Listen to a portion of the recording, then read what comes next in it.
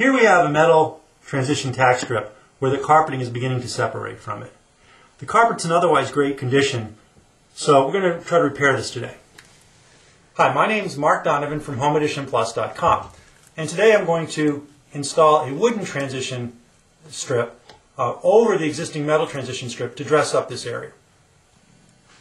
So the first thing we want to do is we want to measure the width of the door frame and transition that measurement uh, to the wood transition board. We'll now go ahead and trim the edge of the wood transition.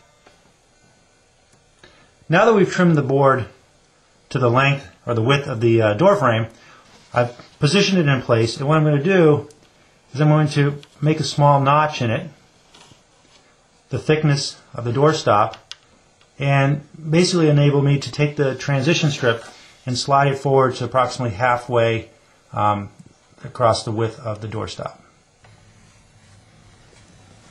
So now that we've cut out the notches for the doorstop, I've slid the wood transition piece into place and it's covering nicely now by about a half inch the uh, uh, seam for where the carpet connects to the um, metal tack strip. So at this point we're ready to uh, screw this down to the floor.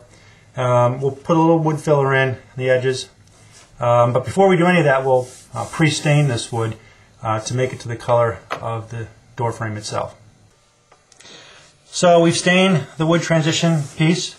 I put in most of the screws. All we need to do is tighten this one up.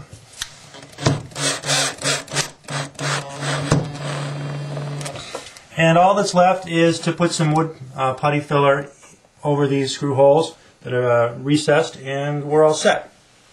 So that's it. It took us maybe 30 minutes to do this uh, wood transition project.